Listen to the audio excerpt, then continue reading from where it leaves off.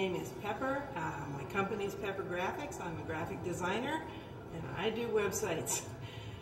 And this conference has been absolutely life-changing. Every single session, I have learned something totally new about a direction I can take this in. I've never had a straight A conference before, but every session has been that way, and it's been completely life-changing. I freelance on the side, I have my investments, um, mostly web development. Um, has been really, really good, really informative. Um, I've taken like probably about five or six pages of notes so far. So. I enjoy IndieConf. I think it's a great opportunity for people in the Raleigh area to get together and uh, gain some knowledge and experience